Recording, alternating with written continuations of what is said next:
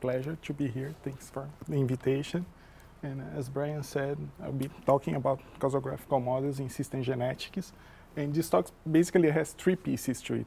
First part, I'm going to give some motivation and some basic concepts. The, the, the idea is to try to give some intuition about why is that when you actually integrate genetics together with other phenotypes, as for example, gene expression or uh, protein levels, things like that, we can actually get to causality. Then in the second part, I'll be talking about some causality tests, hypothesis tests to determine causality between pairs of phenotypes.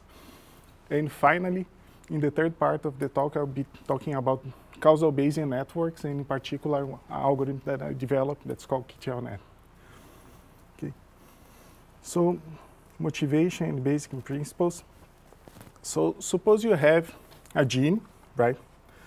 A gene G, and it's associated with a clinical phenotype C, right? And you want to know whether is, is, the gene has actually a causal effect in the phenotype. If it's the other way around, and the gene is simply reacting, reacting to variations in the level of the clinical phenotype, or if they are simply associated and there is no causal relationship between them, uh, what can happen just because there is actually a latent variable that actually affect both phenotypes. Uh, so, but you want to distinguish between these, these models. And the problem is that you, just using data, you cannot really tell the difference between them. Because if, if you look here, we can write this model here. It, it actually factors as a marginal distribution for the gene expression times the, the conditional distribution of C given G. And this is actually, so the, the joint distribution of both phenotypes, you can factor in this way according to this model or you can factor in this way according to this model, or you just keep this way like according to this model. And turns out that if you try, if you have a, a, a, likelihood function for these models and you maximize it and you try to compare these scores, they are going to be exactly the same. And you cannot really tell the difference between these models. Right? However, if in addition to the phenotypes, turns out that both of them map to, to, to a common QTL you can actually use the QTL to, to, to get, to, to learn the causal ordering between these phenotypes here. Right. And this approach wa was pioneered by Eric Schadt in 2005. So it, it is a, a Nature Genetics paper. And it, uh, was working for Merck at the time. And this is, I mean, it's very interesting for a, a, a drug company.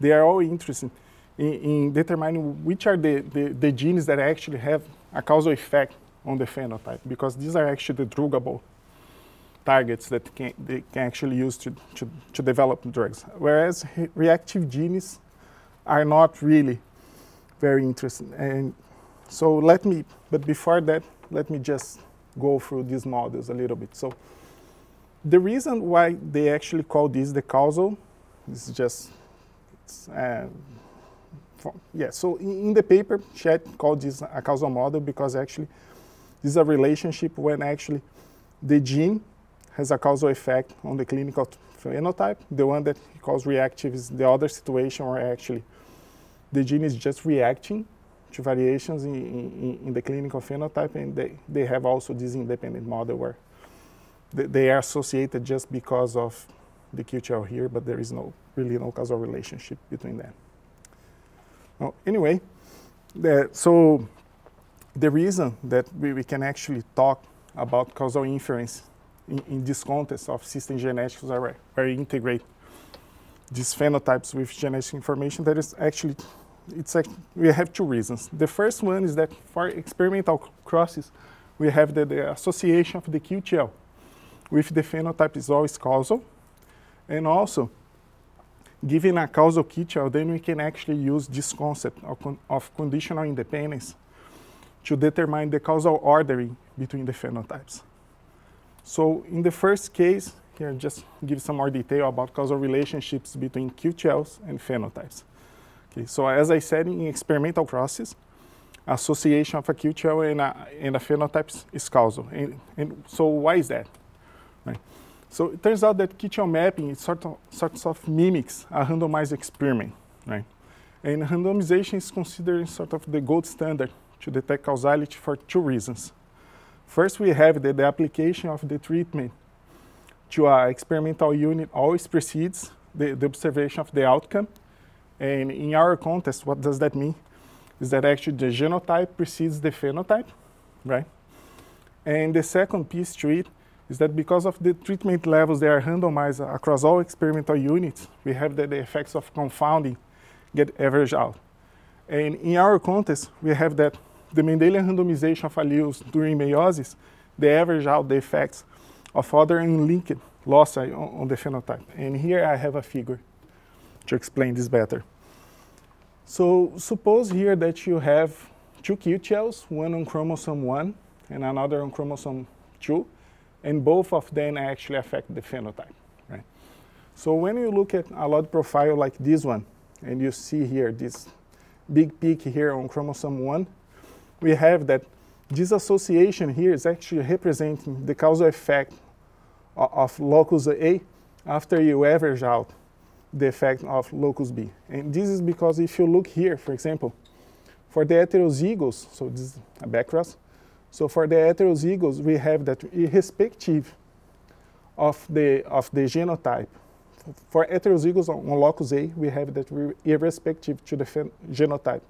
On locus B, these individuals here are associated with low phenotypic values, while the, the homozygous at loc, locus A, irrespective of the genotype on locus B, they, they are associated with high values. So pretty much this tells that the strength of these associations is pretty much the causal effect of the first QTL, of QTL on, on chromosome A.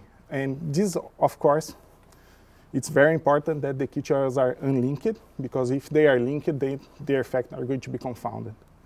Okay, so any questions so far?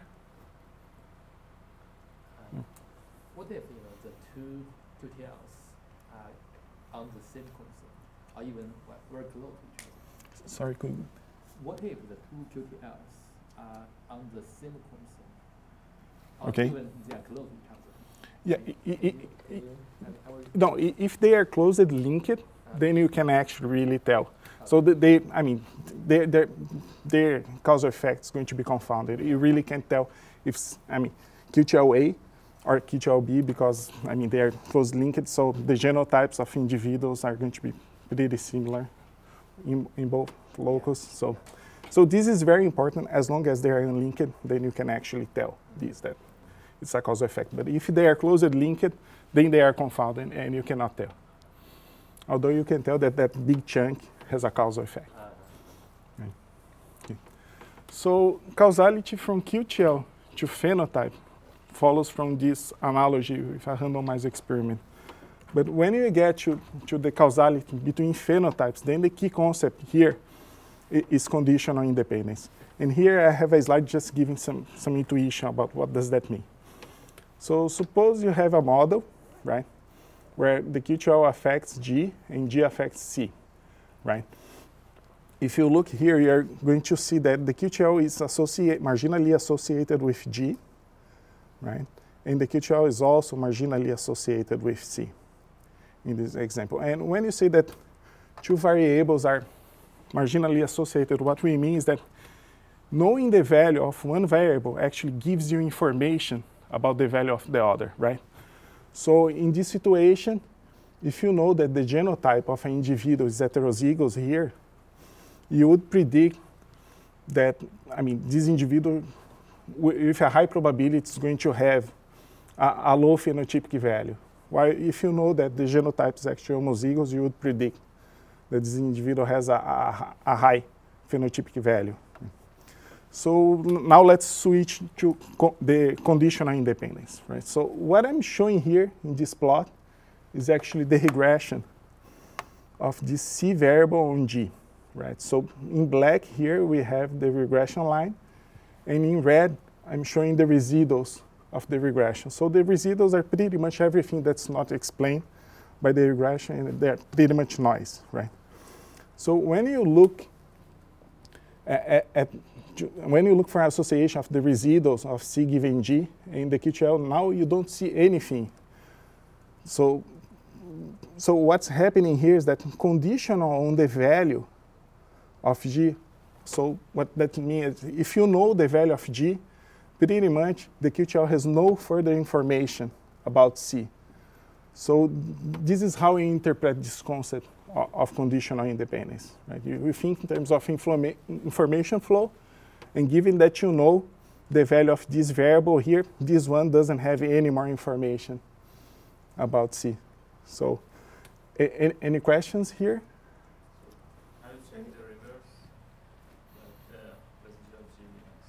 Sorry? How do you check the reverse, like the residual G and C? Yeah, you, you can do that, and I'm going to show. Yeah, next slide actually. So can you can you tell me what is Q and what is G here? Q is a QB for Q is a sleep. Yes, you can think. Yeah, so you. Is it transcript or G? G could be a, a transcript, the expression of a gene, and C could be another expression of another gene or a clinical phenotype, uh, a protein level, a metabolite level. So G and C are phenotypes, and Q is the QTL. And sorry, I should have made that more, more clear in the beginning. The at the nucleotide level, maybe you know, you're talking about uh, expression suite, you are here trying to. Y yeah. Mm -hmm. All right, so then what happens is that when we look at these models here, the causal reactive independence model, we see that actually if you look at, at the residuals for, so suppose that actually the data comes from the causal model, right? So if you look at the residuals of C conditional on G, right? Because you are blocking here the flow of information, pretty much there is no association between C and Q, and you say that they are conditionally independent. Right? However, in this situation here, if you condition on C, there is still information flowing from Q to, to G. So there is still association here. For the reactive model, you have a different pattern of, of conditional independencies. So in this case, we have that condi uh, uh, conditional on G, right? There's this path still open here. But when you condition on C, these guys, they become independent. Here, and for the independence model, it doesn't matter. So if you here conditional on C, there is still association of Q and conditional on G. There's still association of Q and C. And here, if you condition on G, there is still association uh, of uh, Q, yeah, Q and C here. Right? So why is that important to look at these different patterns of conditional independence relationships? It turns out that although this is not always the case, but for most parametric families that we work on, this is true. So if you have two models that have different sets of conditional independence relationships, they are going to have different scores. And if they have exactly the same set of conditional independence relationships, they are going to have the same score, and you cannot tell the difference between them. So, I mean, causality in this context of, of system genetics is basically what you get to causality because when you incorporate, you augment these simple networks with these QTL nodes, you're pretty much introducing new sets of conditional independence relationships that allow you to distinguish between models that you couldn't distinguish before. So, any questions here? I mean, this idea sounds very, I mean, very similar to the Mendelian randomization. The Mendelian randomization explains actually the, the, the, causal relationship from QTL to phenotype. Yeah, yeah. Right? But between the phenotype, I mean, to get the causal ordering between two phenotypes, then the concept is actually conditional independence. Right? Because we are looking at different, I mean, models with different sets of conditional independence relationships, you can actually tell the difference between them. Uh, any questions? So, I mean, this is here is just a motivation, some basic concepts. Why is that that we get to, to causality in this? Eh, and now I'm. It is not the same thing as Mendelian randomization, just to be clear. Both are valuable, but they address different issues. Yeah. Okay, so you can, can feel me later. Okay. So now I'm actually switching gears and now I'm going to start talking about this causality test per se for pairs of phenotypes. Mm-hmm. So the first thing that we should note when we are actually trying to model causality between pairs of phenotypes is that actually our pairwise models, they are collapsed versions of more complex networks, right? So if you look here, for example, at net network C here, our collapsed version, we have that this path connecting the QTL to the phenotype Y1 is represented by this arrow. These two paths connecting Y1 to Y2 are represented by this other arrow here, and this other path connecting Q to Y2 is represented by this other arrow here, right? And so when we talk, there is, when you have, for these pairwise models, when you say that there is a causal relationship, we don't really mean that it's a directly causal relationship, but all you mean that's actually th there is a causal path, and this path can actually be mediated by a bunch of other phenotypes. And another thing that you should keep in mind here is that actually for these pairwise models, by, I mean, by definition, they are misspecified because they are a very simple representation of a much, much more complex network of phenotypes. So in that sense, they are specified because they are a very, very simple and reduced model of what's going on in, in reality, right? So so as I said, even though, even when we are using these very, very simple models, still so Schadt in 2005 was really, really successful in identifying and also experimentally validate gene, genes related to obesity in, in, mouse crosses. So why is the reason that we are still working on, on this problem?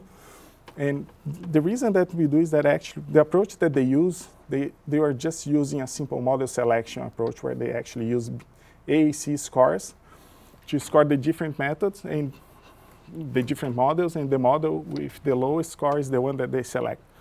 But the problem with that is that actually you have no measure of uncertainty associated with this model selection call, right? So you have a call, but you don't know if this call is statistically significant or not. And Steve uh, tomorrow is going to be talking uh, about uh, an approach where he can actually measure uncertainty associated with this cause and also a bunch of measures of model fit. He's going to be talking about that tomorrow. And uh, so there is uh, some approach try but it, it's not directly related to, to what Schadt did here. He's going to be using these structural equation models. And another thing is that with noise data, this if you just apply a simple model selection procedure, you can actually get a, a really large number of false positives.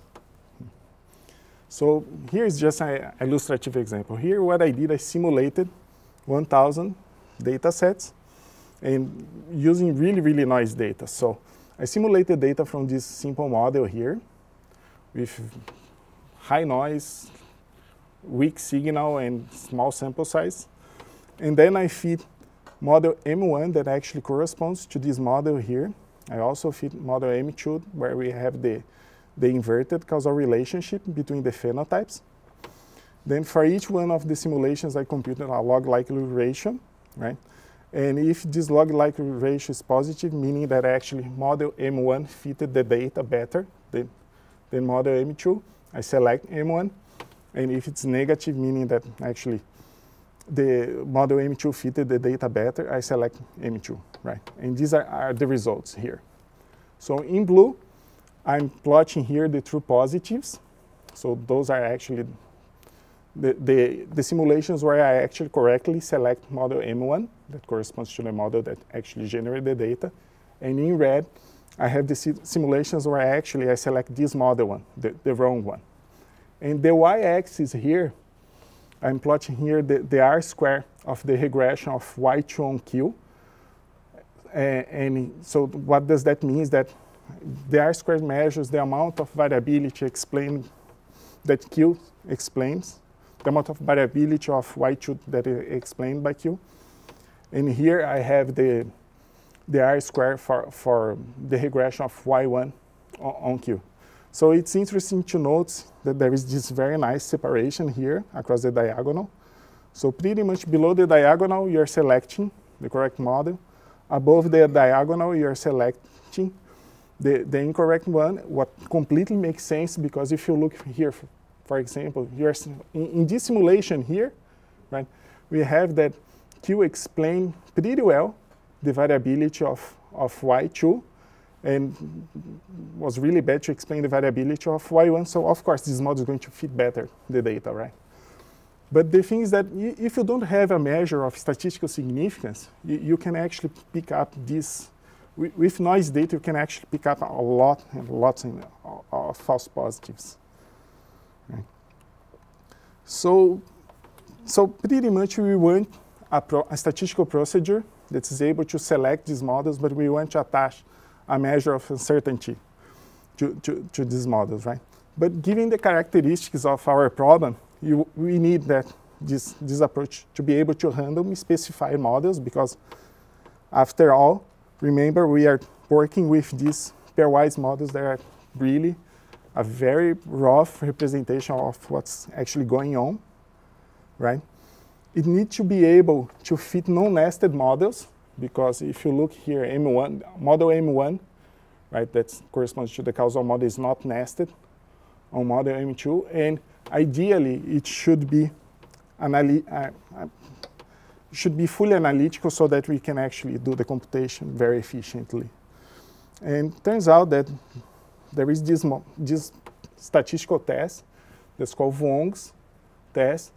And this, uh, a, this paper, Vuong published this work in econometrics, so this is a very well-known approach in, the, in, in econometrics, not so much in statistics but it's very well known in econometrics. And this test actually satisfies these three criteria. And here I'm actually showing the results of application of Vuong's test to that simulate data. So now we see, right, that of that huge number of false positives, like 318, now we just detect just one. And this is actually that case that actually the tutorial explain a lot of the variability of Y2 and Y1. And here, the, the price that we pay is that also we have a drastic reduction in our power to detect the correct ones. So Vuong's test, it, it's actually a, quite a, a, conservative test. So you can control pretty well your false positives, but the price you pay is that you have a drastic reduction in your power to detect the, the correct ones. But, and so here's just some more intuition about how Vuong's test work. So pretty much, as I said, for Vuong's test, you are actually considering two, just two models. So you're comparing, for example, M1 against M2. And the null hypothesis that you test is that M1 is not closer to the true model than M2, and the, this distance is measured according, according to the Kullback-Leibler distance between two probability models, but I'm not going to get into the technical details. And the alternative hypothesis that actually M1 is closer to the true model than M2. And under this null hypothesis, we have that the test statistic of the the test statistic of Vuong's test is pretty much just a scale version of the log likelihood ratio of two models. And he showed that, uh, I mean, this converts to a normal zero one, so it's really easy to implement. And and here, so this part here is the, the log likelihood ratio. And when F1 hat here is, is just the density of your model evaluated at the maximum likelihood estimate. And the interesting thing about this is that, I mean, sometimes, of course, if one model fits the data much better, suppose that model M1 fits the data much better than model M2, then this likelihood ratio is going to be pretty high. But what happens is that sometimes both models feed the data really poorly, but one of them is really horrible. And in a situation like that, this still can be very, very high. But the thing is that observe that actually now we are scaling by this factor here that's actually the sample variance of the log likelihood ratio scores. So in these very noisy situations, what happens is that even though these parts can be pretty, pretty big, the value, the variance here is also going to be big. So pretty much you're going to shrink the test statistic towards zero so that a situation where, where you are going to, to make a, a, instead of making a so so instead of making pretty much the it's not going to be statistically significant, right? So those are the situations, right? Sometimes we can have a very high log likelihood ratio, but because that term here are also big, it shrinks the test statistic to zero, close to zero, and you don't get, so your model selection call is not significant. The price we pay that sometimes, I mean, it's going to reduce the power also for the situations where, for the true positives, to, to detect the true positives. So any questions so far? Okay. So, but, so Vuong's test, as I said, handles just a pair of models, right? But in our contest, we actually have not just a pair, we actually have four. So we have the, the causal model here, the reactive, the independence, and also we have this that I call the full model or the correlated model.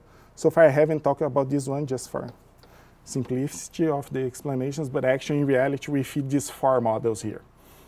And this fourth model here actually corresponds to a whole family of different models. Because it turns out that this model here, this model, and this model, they are likelihood equivalent. You can't tell the difference between them.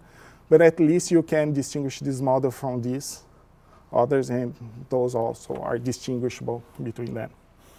Mm. Okay, so, so what we do here, we develop three different versions of this causal model selection test.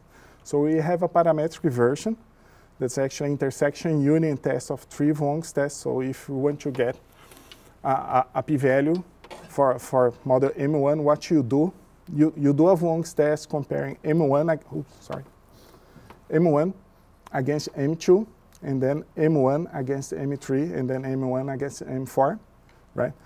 And the null hypothesis that we are testing here with our intersection union test is actually that M1 is not closer to the true model than the other models against the, the alternative that actually M1 is the closer one to the true model than the others.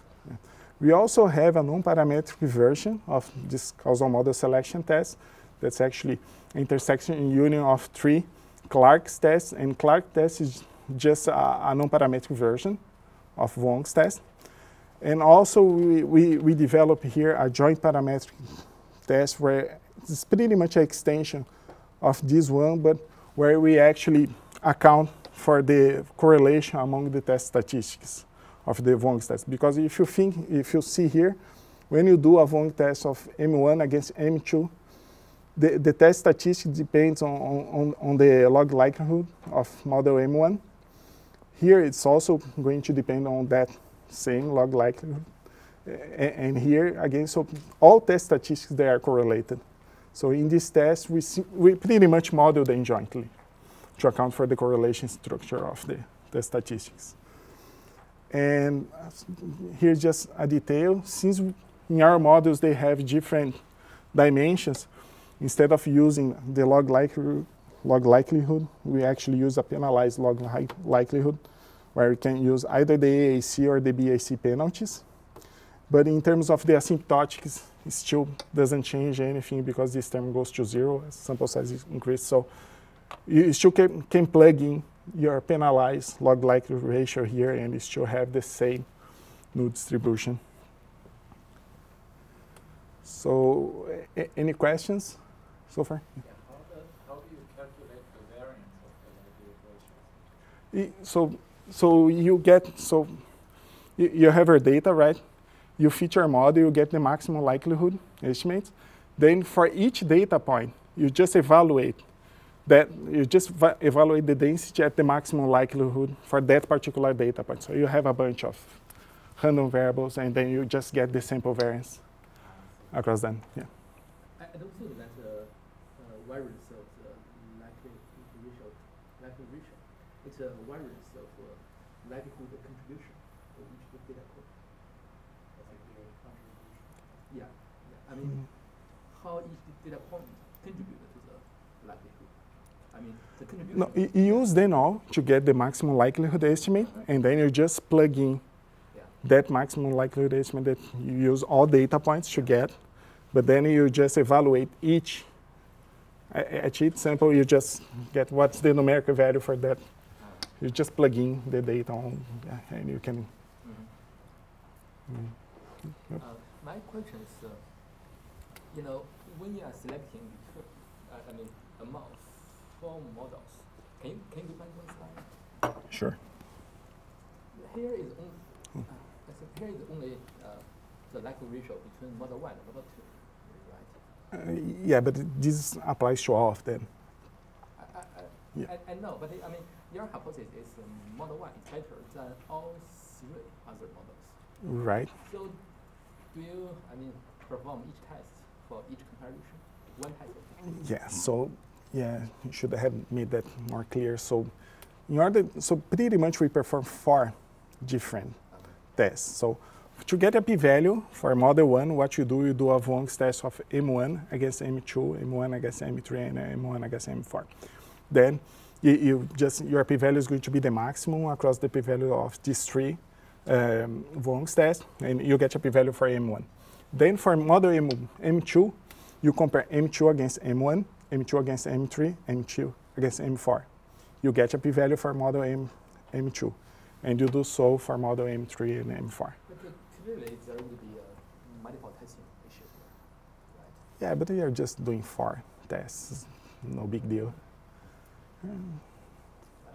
Will you address that in simulations? I I- mean, I- There's model testing here, and then you've got multiple testing you're doing across um, all your different. Yeah, but it's yeah, but this is across different tests. Yeah, I know. But here, I think he's talking about inside. But yeah, it- not, it doesn't turn out to be. yeah. Let's just move on. Yeah. Okay, all right. That's it later. Okay, so here I have some some example with is, is data. So um, here I'm using the genetic genomics data from Brain Kruglyak, 2005. So we have data on 112 strains of yeast, have expression measurements in about 6K transcripts, dense genotype data on about 3K. And what's most importantly is that for yeast, we can actually evaluate the precision of our causal predictions using validated relationships from, from, from database of knockout experiments. So you, you already know, for at least for these 247 genes, there are experiments out there where they actually knock out it, and you know which, which genes are actually affected by knockout. So you already have the validation, the biological validation ready. So what, what, so in each, as I said, in each one of these experiments, right, one gene is knockout, and then you have, what you do, you have expression levels for the remaining genes, in, both in control and knockout strains, and you interrogate them for differential expression. So the set of differentially expressed genes form the knockout signature for one particular knockout gene, and this knockout signature is pretty much a validated set of causal relationships, experimentally validated set of causal relationships. And you have, at least for 247 genes, we, we do have this data. Okay, so to, to leverage this information here for the causality test, what I did, I determined each one of these 247 genes also had a significant QTL in our data set. And for each one that had a significant QTL. What I did, I did mapping analysis and I select all traits that co-mapped to, to that gene. And this is uh, our target, our putative target list. And for this, for each gene and their putative target list, what I did, I applied this causality test where I use phenotype, the knockouted gene as the Y1 phenotype and the, the other genes as the Y2, and I use actually the QTL of the knockout gene as the causal anchor. And out of the 247, turns out that 135 knockout genes actually showed significant linkage, both in cis and trans. And the number, for each gene, the number of targets varied, but in total, we had almost 32K. So this is actually the number of feats that I, I did. And to evaluate the performance, we, we have this biologically validated true positives, false positives, and precision. So a true positive is any, any uh, statistically significant causal relationship that the methods detected that, that turns out that actually that core gene actually affected that particular gene in, in the target list, right? A false positive is the ones that we, we infer as causal, but turns out that they, that particular gene does not belong to, to the to the target, to, to the to the uh, knockout signature? And then we evaluated the, the, the precision, the biologically validated precision, just as the ratio of the true positives and true positives plus false positives.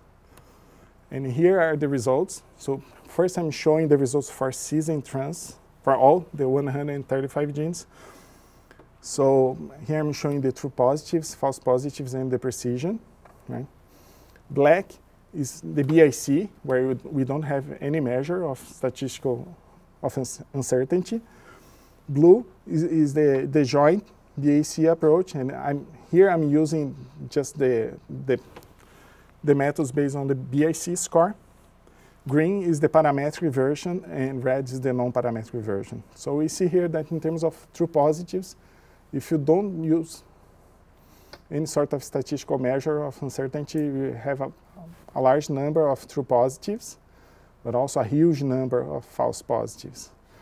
And for, for the methods where you actually have statistical significance, and by the way, here the x-axis is just the significant levels that I use. So I'm looking here from significant levels varying from 0.1 to, to, to 0.1.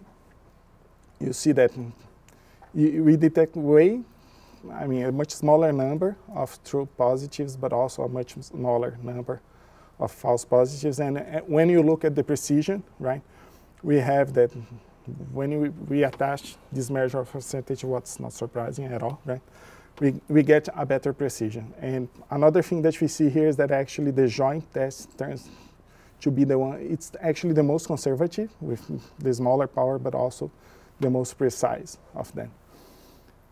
But if you see here, I mean, the precision is not that great, but remember that these are actually the precision of biologically validated ones. But we can also just look at the results if you just, uh, just looking at the cis rates. Okay, so in this case, turns out that 27 of the 135 candidates were actually cis. Right? So if you focus here, you're going to see actually a, a good increase in precision right? And if you put them side by side, you see that they sort of almost double the precision if you just focus on the cis rates. Okay, and the, the reason for that is that pretty much for the cis rates, we are in the, in the situation where actually the, the, the QTL explains a lot of the variability of the cis rate and not so much for, for the trans one. So that's why it's, it's just easier to pick up these guys. And in practice, yeah, it's, if you, I mean, testing trans by trans is tricky and you can get many, many false positives. Okay, so, I mean, so the conclusion about this part is that pretty much the CMST test, what they do, they trade a, a reduction in, in the rate of false positives by decreasing statistical power, right? And whether you want a, a, a more precise, uh, a more powerful and less precise method, or a, less precise and more powerful, uh, a less powerful and more precise method depends on, on your goals, right? So if you can actually screen a huge, I mean, you can do valid biological validations on a huge number of targets, you might want to do a, a more powerful, less precise method, but usually it's the case that it's very time consuming and expensive to do these validation experiments, so biologists tend to prefer a smaller list where you can actually trust the results with higher confidence. Okay, so any questions? Next, we, we are going to switch to networks. Uh, testing causality in animal models is comparatively easier because they are in can-generate knockout mice and yeah. experimentally validated my concern is I work on human subjects and there I have the data on the genotype of sub subject, I have the data on the phenotype, which could be quantitative or qualitative, Mhm. and then I have the in-between transcript data, which is a quantitative trait. Mhm. So how I align these, that whether the genotype affected the transcript level and that by it affected the phenotype, Mhm. that model is correct or the other way. So how you implement this kind of test in human? I mean, I have seen the Schadt paper, Eric Schadt paper that was on the mouse cross. Mhm. Um, how you think you can implement this in human expression and genotype, genome-wide data? In, in principle, you can, right? As long as you have, for example, both phenotypes, they're associated with one SNP, but I mean, in human populations, you need to be careful because sometimes the association of the SNP with the phenotypes is actually due, for example, to population structure and things like that. So you have to account for that.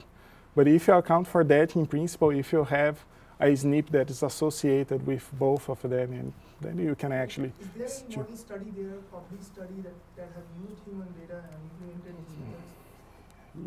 yeah, Yes. Um, I mean, definitely. I mean, people have applied these um, marker-based causal inference methods to human data. But I think what you're asking is how to validate these. yeah, do they work? So often, often people use indirect means. For example, if you find a causal candidate, you look at SNPs from a GWAS study and see whether SNPs that modulate this gene are implicated in a GWAS Mhm. study. But, I mean, using direct experiments in humans is unfortunately not possible. Mhm. But, Okay, so now we are switching gears and now we are going to start to talk about causal Bayesian networks, and in particular this algorithm here. So starting first with standard Bayesian networks. So here we are just talking about phenotypes. We are not integrating genetics at all. Turns out that a Bayesian network is pretty much just a directly acyclic graph. So it's a graph like this that does not have a cycle, right? And the, the, the important thing is that conditional on the parents of a node, eh, a node is independent of its non-descendants. So for example here, if you know, I mean, conditional on the value of 5, 6 is independent of all these other guys here. Right? Conditional on, on, on 3 and 4, 5 is independent of just two guys. So pretty much you have a very complex joint probability distribution, and you can factor this in local pieces because of this Markov property. Okay, but I mean, even though you have arrows and people are always, I mean, very, they, they want to interpret this as causality. When you have these standard Bayesian networks, you cannot really talk about causality. So, I mean, what the, the standard Bayesian networks they do, they just they are uh, uh, uh, they are pretty much the factorization of the the arrows is just a way to factor a representation of conditional independence and dependence relationships. So what I mean, for example, if you have these three phenotype networks, right? They are completely different causal models, if you try to interpret, interpret these as causal models, right? But it turns out that they have exactly the same set of conditional independence. In this case, we have that two and one are independent, conditional on two, in all cases. So as I already show, what does that mean? That actually they are Markov equivalent. They have the same set of conditional independence relationships, and you cannot distinguish them using the data. So pretty much, when you try to score these models, these very different models often are going to have the same score. The only one that's going to have a different score is the one where you have y1 and y3 pointing to y2. This one has a different score, and you can distinguish that one for these other three. But among these three, th- th- there is no way. Right? So I pretty much already just described this. So the way that genetics enter for, for the Bayesian networks, there are two main approaches. One is to actually create priors over the network structures, and this is what Jun, Jun actually does, so he's probably going to be talking more in more detail about this on Friday.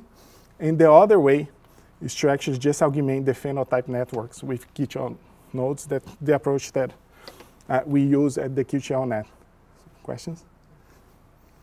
So just really briefly about the genetic prior. So the idea is, suppose you have these two models here, right?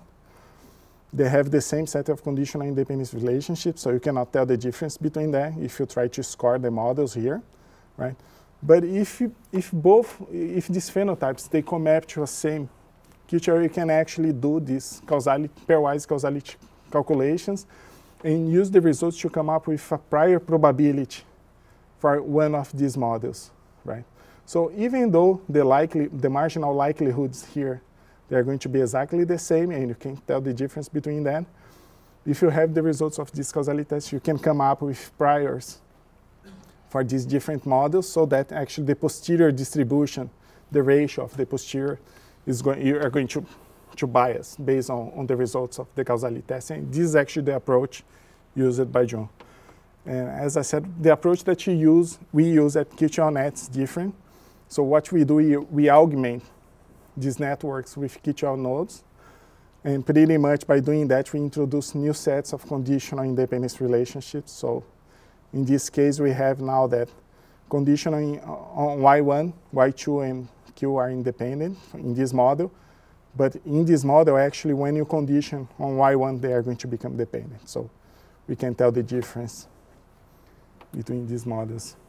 And um, for learning the structure of these Bayesian networks is, is computationally uh, a hard problem, computational problem. And we use here a Bayesian approach where our goal here is to get the posterior distribution of each network given the data. So here is just Bayes formula. This piece here is the marginal likelihood, the prior predictive distribution that you get just by averaging out all parameters of the model. And for some, for, for example, for linear regression and multinomial models, actually, if you use conjugate priors, this has a closed analytical form. You can also use BIC approximations for these things. And this other term here is just the prior distribution. As I said, Jones actually built these priors here, and QTLnet actually, although we can uh, bias using different priors, what we do is pretty much just use the same prior uh, probability for each network model. And the tricky part is this one, computing this marginal distribution here because the number of, of networks that we have is huge.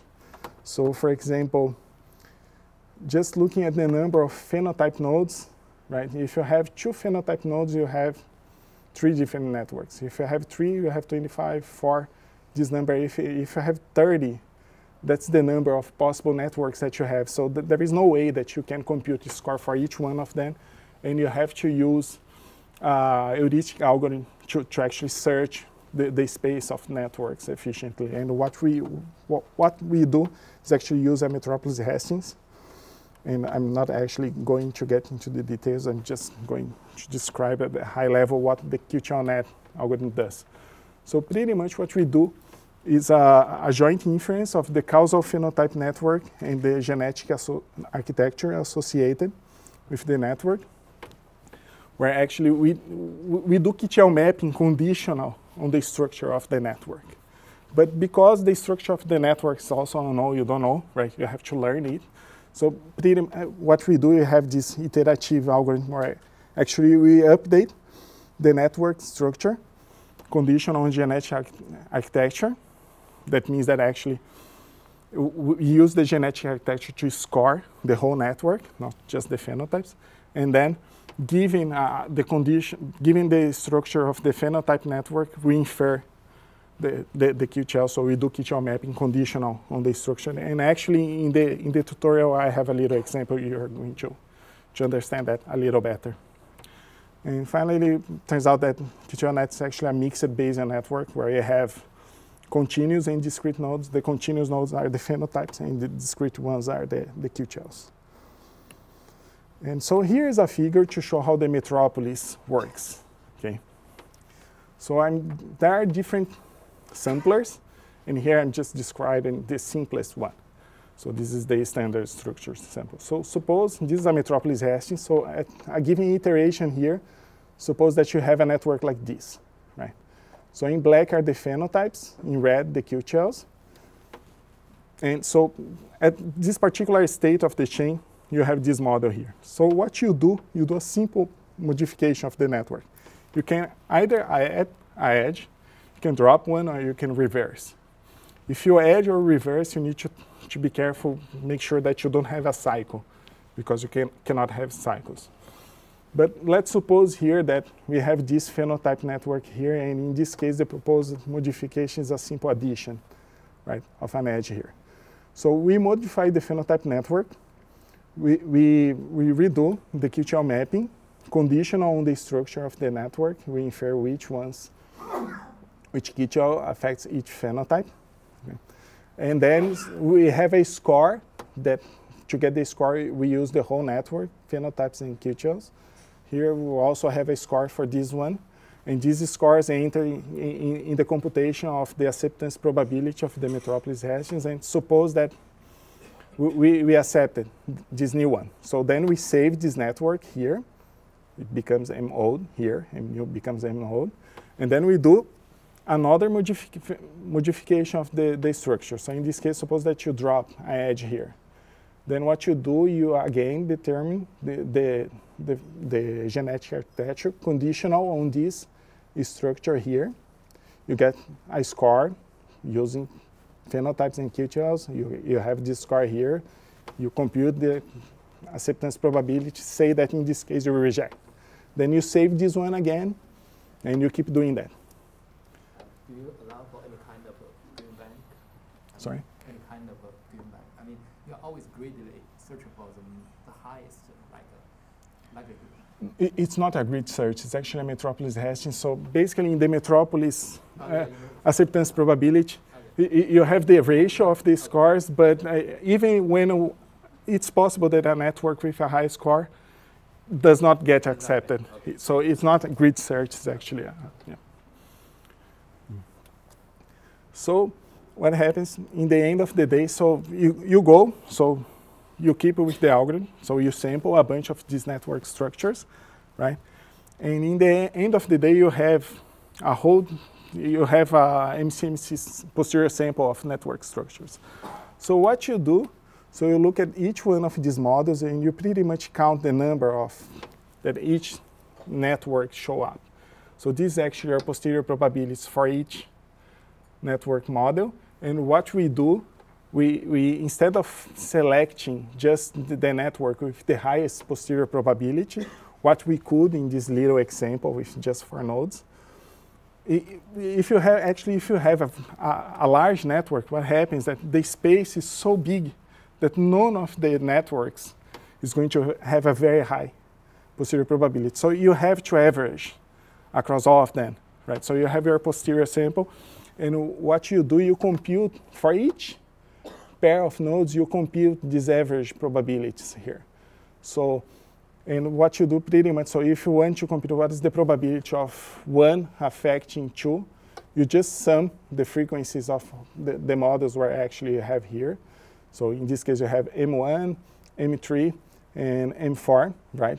So you sum all these frequencies, and this is your probability for this direction. Situation where you don't have an edge, you just sum this with this and this, right? And the reverse direction, you just sum them. So that, that's in, in the end, so that network that you saw at the end is actually the result of this Bayesian model averaging. And here I'm not showing the QTLs, but yeah, we also have the QTLs there. So yeah, so here, One, oh, one quick question to go back a touch. sure. Um, the averaging approach Mhm. to somehow maintain uh, acyclic property, the acyclic property. Do you, E- do you, is that difficult or? Well, actually, we, we don't actually check for a, a cyclist at, at the, the Bayesian at the Bayesian model averaging step. So at the But end i- of averaging, you could have. It's possible. I never seen that happen, but I mean, in theory. Elias, you need to repeat the question Oh, for the, for the video. uh, okay. Sorry. So uh, he, you asked whether actually we check for a cyclicity at the end of the Bayesian model averaging process. And the answer is no, and it's possible in theory to, to get a cycle there when you do, but I mean, in practice, I never seen that happen.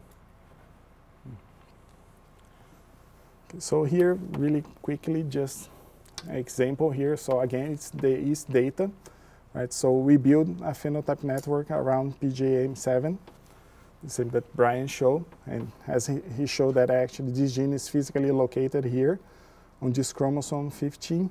It turns out that this is actually the cis gene with the largest number of significant causal calls according to the CMST joint test.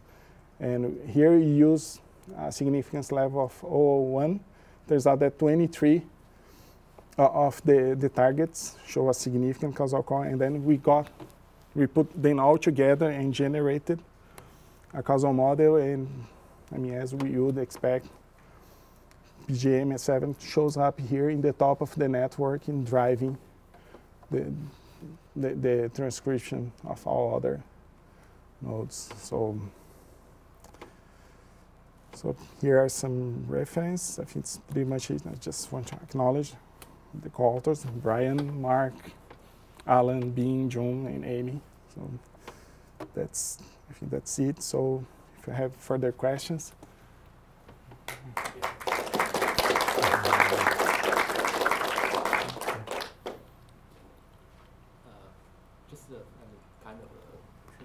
uh, how fast can your MCMC converge? Yeah, it's not really fast. Yeah. So I think that, um, I mean, running my laptop here. So, so yeah, the, the convert, okay, so the convergence. So here I actually show this very simple approach, but actually we have implemented a different approach that's, um, and I'm going to actually show that in the tutorial, that actually, this one actually the convergence of this standard sampler, it's really, really poor. So yeah, there are other Metropolis versions that are actually much better, and I'm going to show in, in the in a moment in, in the tutorial. But yeah, I would say 30 nodes, 40. Yeah, you, you cannot go much bigger than that.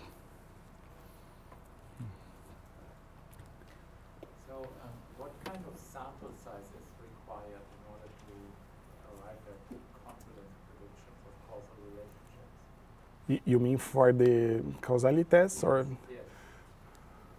Well, I mean, I, I, the data sets that I work, so we work with this, the data, that's about 112, and we also work with the F2 cross that we have about 500. And I mean, for the F2 is, I mean, you get way more significant calls and it's way better. Yeah, I mean, from, from my experience, I would say that you need at least 100. And I mean, for the yeast data, most of the calls are actually non-significant. And part of it is just because the sample size are so small, the signal is not that big. Yeah. So for the, um, model, the models that you derive, like the 10 models at the end that you have, mm -hmm. uh, with the QTL information, you don't have any ambiguous direction based on the equivalent classes anymore? Well, that, so yeah, that's, that's a good question. So, it, so, so if you look at this network here, right, so if you have actually a lot of QTL nodes, right, then you, you, you won't have any ambiguity, but sometimes it's possible to, that you don't actually get to a single network. So it, it is possible to get ambiguities just because you don't have uh, pretty much you don't have enough V structures generated by the, by the QTL nodes, right? It's still possible to get some equivalence classes. And I mean, for a pair of nodes, sometimes what happens that when you see that, usually you're going to see that when you look at the, the, the, the model average probability, you're going to see that this direction is almost 50%, this direction is also almost 50%. So when you do the Bayesian model averaging, you should always just I mean, you should try to use a threshold higher than 50% just to avoid this case. Because in that case, pretty much, if you don't know, in your network, they are not going to show.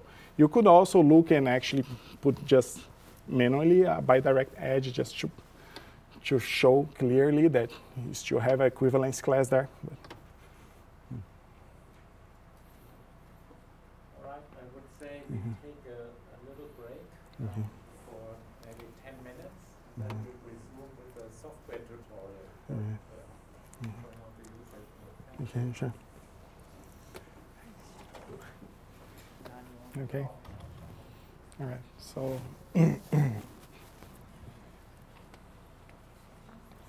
So, so here in this tutorial we are going to just go over some basic routines here for QTL hot where actually I'm just going to, to show the main function that implements the, the causality test, explain the arguments, show a little bit of the output.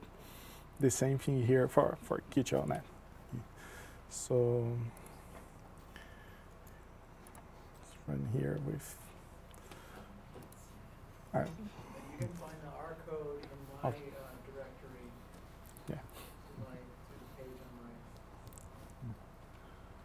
my stack change page. Okay, so first step here is to to load the libraries. QTL Hot that actually has the functionality to implement the causality test, and QTLnet for for the. Thanks. For the network approach. And the first thing we are going to do here, I'm actually going to simulate data from a toy network. Specifically, I'm actually simulate data from this toy network here, where you just have five phenotypes. Each one of these phenotypes is affected by, a single QTL here.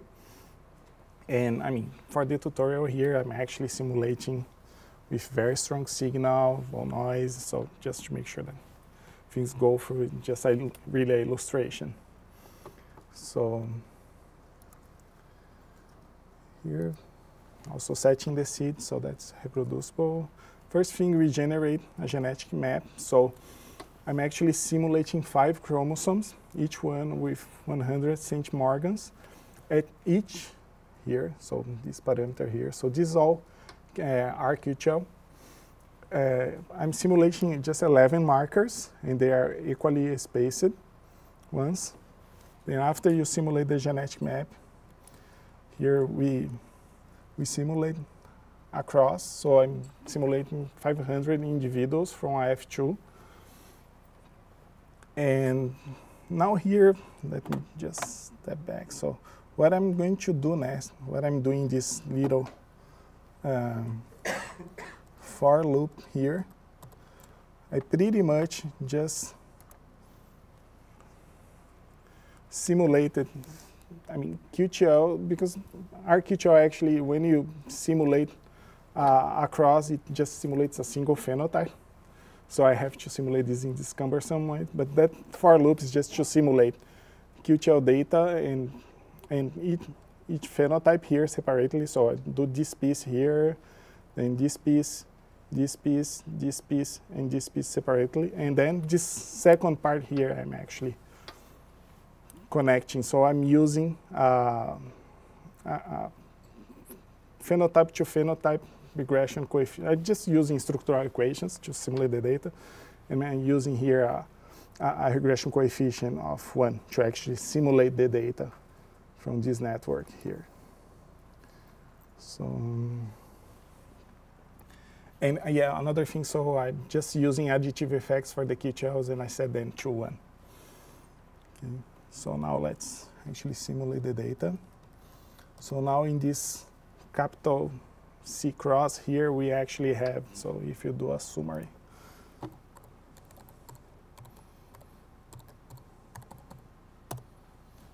We have a F2, right, with five phenotypes and 100 individuals just five chromosomes, uh, and with 11 markers, equally spaced markers. Mm.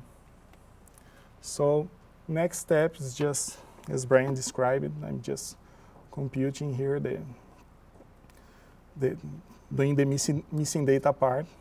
So using a step equal to one. So every, every centimorgan, I'm actually getting these markers. Again, setting the seed. Now I'm doing a, a permutation test using Churchill, Churchill Doerge approach. I'm doing 1,000 permutations, and the QTL mapping method here is Haley-Knott regression for this parameter here. And when we do a summary, it says that if you use a LOD threshold of 3.5, you're going to, to, to, to control genome-wide error rate at a 5% level. If you use 2.7, you are going to control this at 10%. And we are going to actually use the 5% one. So next step is to do scan. So I'm doing scanning each one of the five phenotypes separately. So this phenol argument here, you can, I'm just saying that do the QTL mapping for phenotypes 1 to 5, again using Haley-Knott regression. And I'm plotting here the results just for chromosome 1. So we see, right, that, I mean, this is simulate data with strong signal. So we see that actually all traits, all the five traits mapped to, to the QTL on chromosome 1. And this QTL actually, I forgot to mention that, but in the simulations, we, we I actually set the QTL to be exactly here in the middle. So if you look here at the network, you would expect that everybody actually maps to Q1, right? Because there is a direct relationship Q1 to Y1, but also I mean, the, the, information flows from Y1 to Y2, so Y2 should also map to this guy. Same here to Y3, same here to Y4, and Y5 should also map. And this is what we, we are seeing here, right? So everybody maps to, to, to the Q12 phenotype Y1. So now uh, what I'm going to do, I'm going to apply the causality test of Y1 against y2, y3, y4, and y5. So this is, so names here is just getting the names of the phenotypes.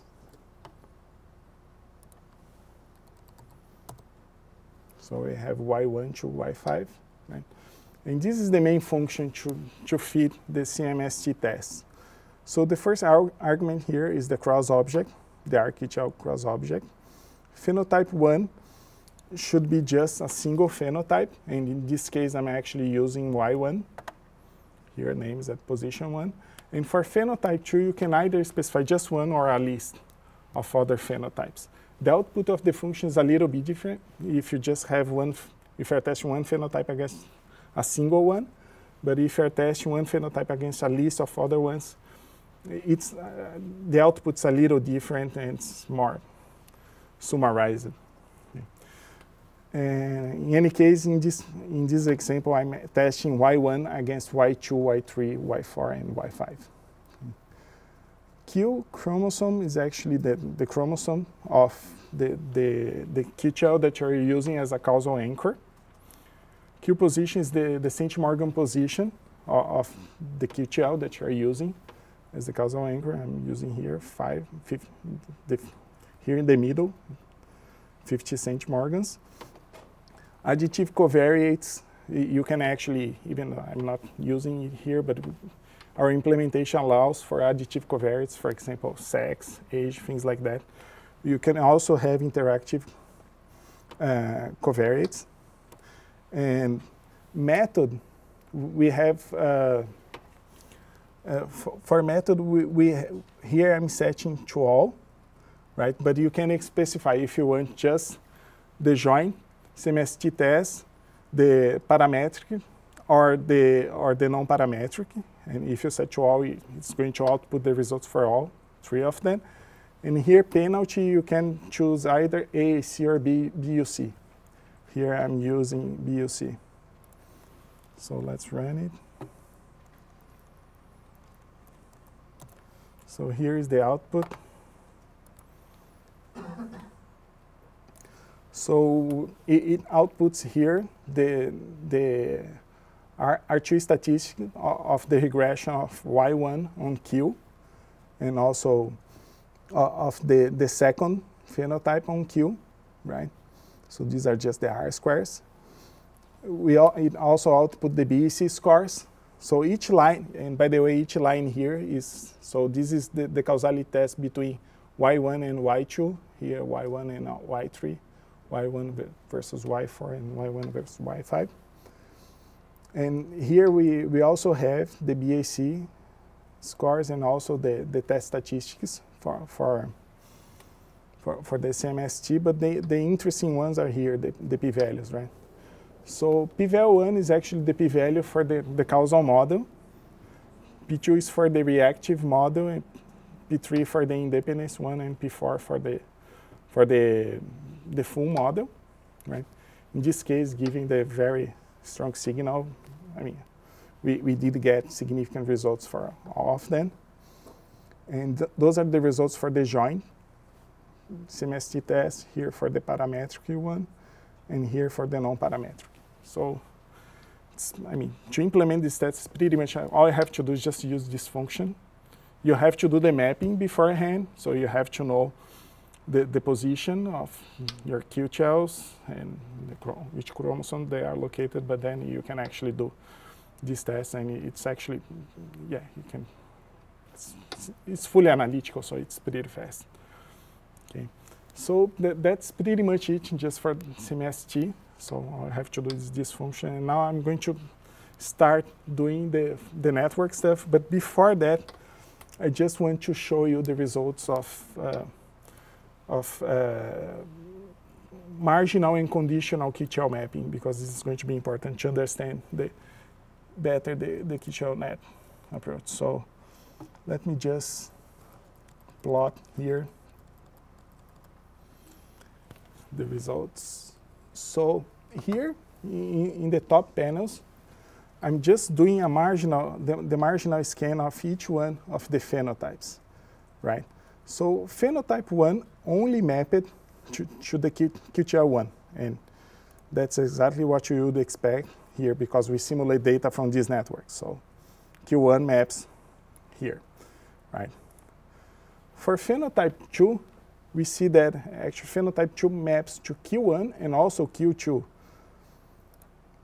as you would expect here, because there is, it indirectly maps to Q1 via phenotype 1, but it also maps to, to the QTL that directly affects it, right?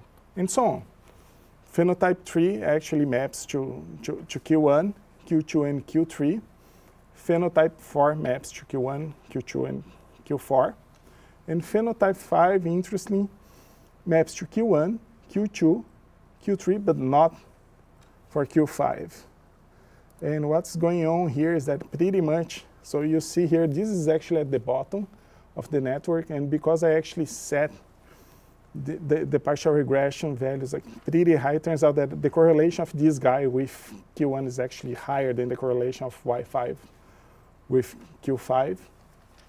The same here for this other QTL. So interesting, you, you don't pick up the direct QTL, you just pick up the ones with the, the indirect ones if you do just marginal mapping without conditioning or anything. And these are actually the results of QTL mapping when we, we condition on the structure of the network. So, I mean, here for Y1 it's the same thing, but for Y2, if you look here in the network, we know that Y1 is a parent of Y2. So if you use Y1 as a covariate in the mapping, pretty much you block the influence of Q1 on Y2. And that's exactly what we see here, right? Conditional on Y1, you, you, you don't see let me actually do this. Oops. So condition on, on Y1, you don't see any, you, you completely, did, did, there is no association anymore between Q1 and, and Y2, right? The same thing here, so condition on, on Y2, uh, should be actually, uh, sorry.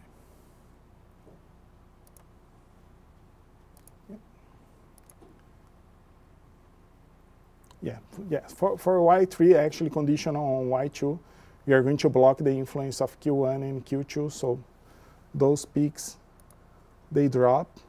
You just have Y3 and the same, I mean, conditional on Y2 also, we just have here, this peak here. And now, interesting, when you condition on Y3 and Y4, right, condition on these two guys, then we pretty much block the influence of all QTLs. Then this QTL that you didn't detect at all at the marginal mapping, it, it picks up here, right? So this is just to illustrate that, I mean, it's, if you're actually interested in, in, the genetic architecture, it's interesting to do the map conditional on the network structure, because if you don't do that, you're going to pick up a bunch of QTLs that actually just affect that phenotype indirectly, right? And sometimes you also you can also miss some of the of the phenotypes that direct affect the, the, the QTL. Why in the conditional scans does the mod score go up for the direct QTL? So for example, this, the, the second panel's there. Mm -hmm. um, the Q2 goes from a LOD of 20 to 50 yeah. when you condition on Q1.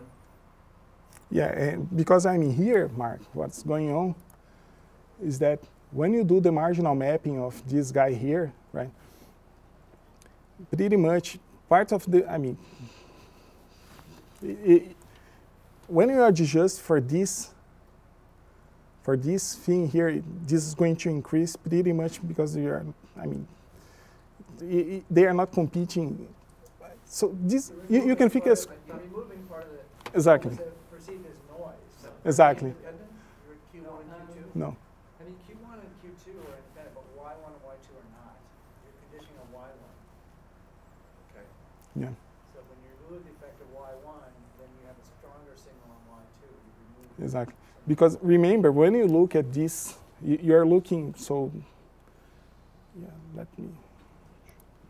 So here, this peak here, you're just looking at the influence of Q2 right on, on, on, the, on this phenotype here, right? But everything that's, the rest is actually entered the, the, the model as noise. So as soon as you adjust for that noise, you can actually pick up this. Right.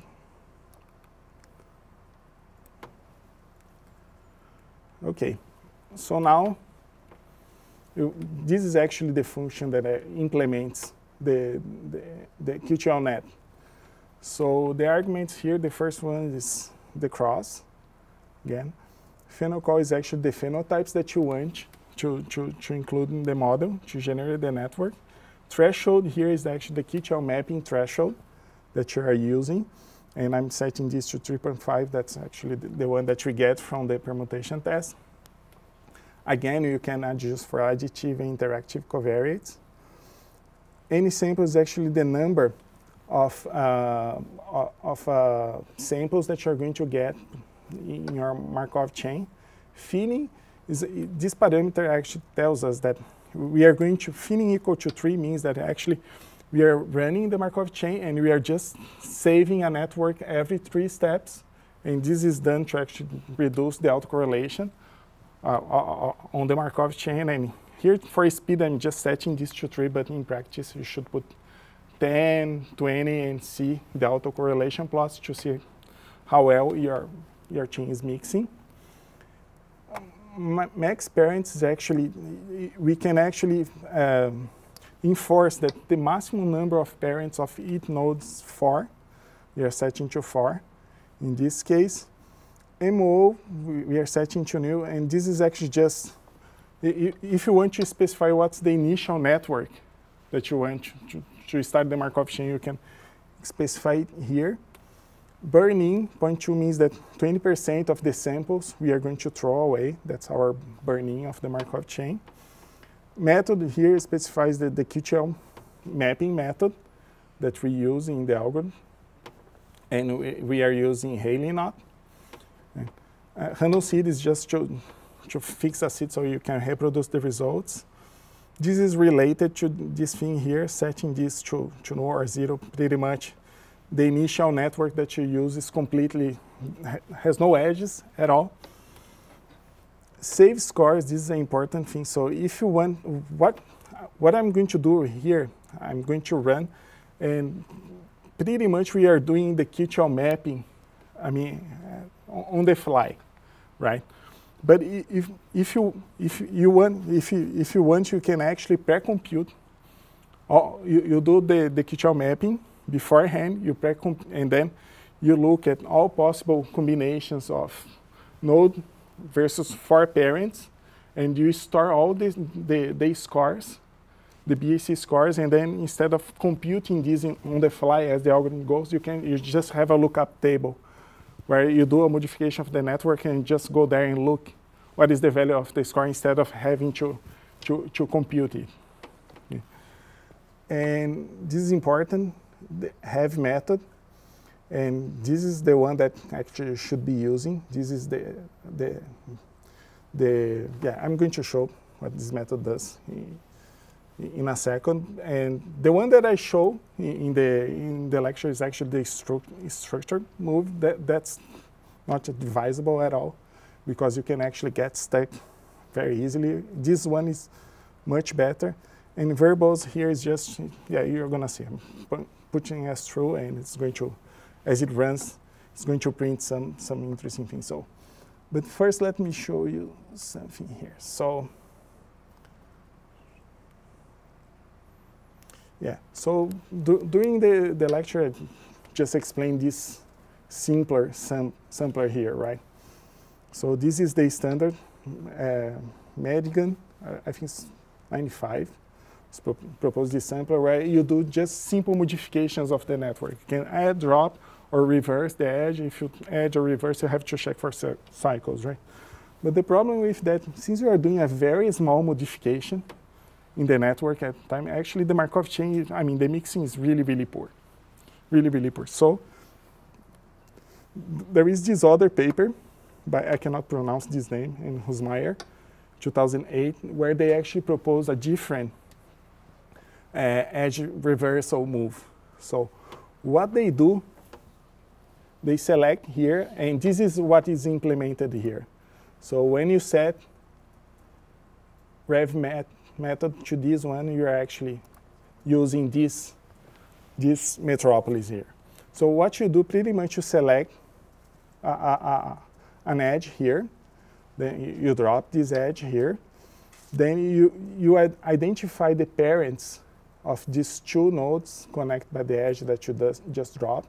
You drop them too, so pretty much you orphan the nodes, then you reverse the direction of this edge here. So before you have from E to D, now you have from D to E, right? And then you sample again new parents for both of them. And this example is to only D, but for D he sampled B and C, right? So there are pretty much two advantages here. First, if you do in this way, you, I mean, you can always reverse a edge, right? Because in the other sampler, sometimes if you reverse a edge and you have a cycle, yeah, I mean, it's forbidden, right? But if you do this more drastic move here, reversal move, you, you can always reverse. And most importantly, you can see that actually you do a, a, a more drastic modification of the network. So pretty much, and also when you reverse and you select new, new parents, they sort of become adapted to this new edge direction. So pretty much the mixing of the chain is much, much better than if you use that that method. And here are some examples. So this is the structure. This is also from yeah, Husmeier, 2008. And they have these two, so here they are running the chain two times, and you see here that this time it got stuck here. And with this new reversal move, actually the chain mixing well, and you avoid getting stuck. So yeah, you should, we still have the the other option there, but you should actually use this one. So let's run it.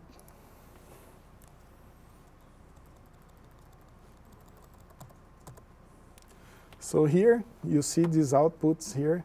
Sometimes when you, you have those lines that mean that you are computing, doing the QTL mapping, but once you compute from one model, you store it, and next time that you need that same, you sample that same uh, parent, parent set, you, you just look, because you compute and you save it. You don't recompute again. So once you compute it, you save it. So yeah, it run, and then we have here some some functionality to look at the output. So the summary actually it shows you the, the results of the model average network and the, the probability here. And in this case, we see that we get the network right. So Y1 affected Y2, Y2 affected Y3, and Y4. Y3 affected Y5, and y, Y4 also affected Y5. And the posterior probability here is 1. Remember that we have uh, a burn-in, so we throw away the first 20%. It turns out that for the rest of the chain, we, all models that we, we, we accepted actually had these directions. That's why when you do the Bayesian model averaging, we have this probability set to 1. Here is a parameter that you can actually specify. Here is, is set to 0.5, but if you want, if you set to 0.5, usually it's not going to be the case, but you could potentially, you could have that problem, right, of the equivalence class. But if you set higher than this, you avoid that here's the, again, posterior probabilities, but now you look at each one of the possible combinations. So those are, so for example, one in, one in three that are not really directly connected. Oops. In the true network here. So we see that we, we got this direction we got that they are not connected with a high probability here, also one and four with high probability. So, I mean, in this case, it's doing pretty well just because, I mean, we have 500 individuals, strong signal and everything, but this is just an illustration. We can also have this other sort of summary. So if you do print the output, then you, you have this, again, the model average probabilities here right? When rows are actually the parents and columns are actually the children, so it's sort of the same information as before. But you also have, by model, the, the, the posterior probability in the BIC score. So, I mean, the, the model, that the true model is actually the one, so we sample this, 70% of the time we sample this, this, this model that, that corresponds exactly to the one from which we simulate the data. And the second best one is this one where we actually have an extra edge from 4 to, from, from 2 to 5 that actually doesn't exist. So the second one had just this extra edge here. And this is the frequency that we sample this network in the Markov chain, and, and so on. You can also look at the of the, the, the loci. So this actually gives you the genetic architecture conditional on the final network, on the final model average network. So we, we, see that actually we are picking up the correct genetic architecture. We are avoiding all these issues here with the with situations where you have indirect QTLs affecting the network. So pretty much for phenotype 1, we are just picking up the QTL on chromosome 1. For 2, just the QTL on chromosome 2, and so on.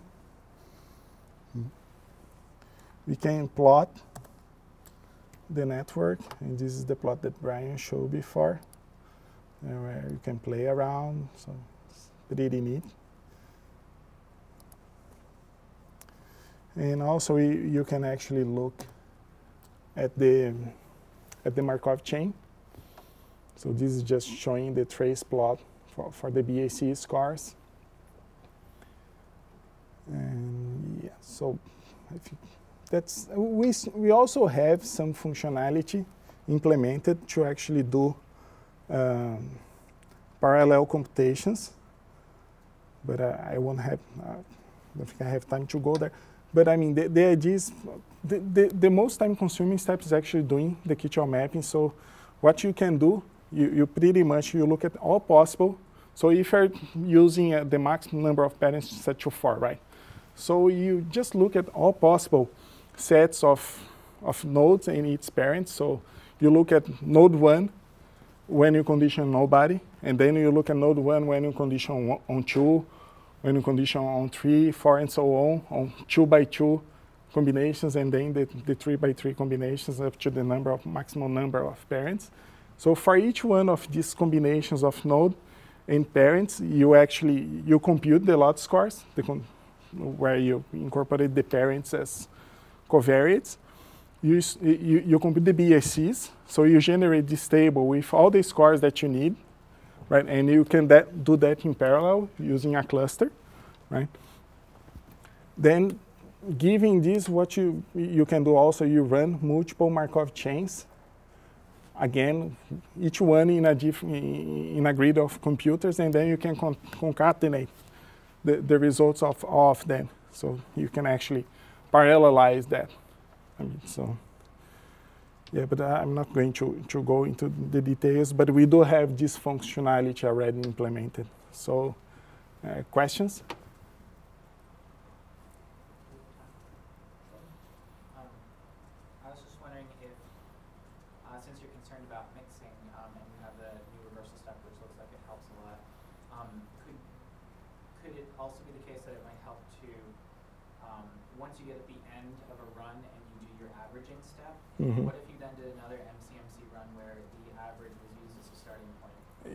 Yes, you can actually do that. Does or that ever have you observed that that ever helps? I, yeah, maybe I can comment, comment hmm. about that. Yeah, it does help. Um, another thing you can do is, is do different random starts. Mm -hmm. Yeah.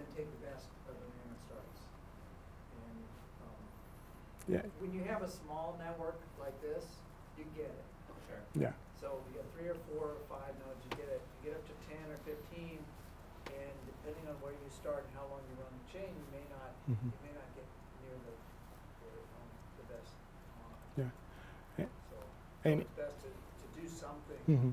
and, and you know, we don't have that. You know, yeah. We, we don't have the magic answer, but uh, random starts and yeah, so if you have the, the, the, computing resource, what you can do, you, for example, you generate 1,000 networks in parallel, each one with a different random start, and actually you just use the last one in the chain to actually to get your posterior sample, and you do model averaging across.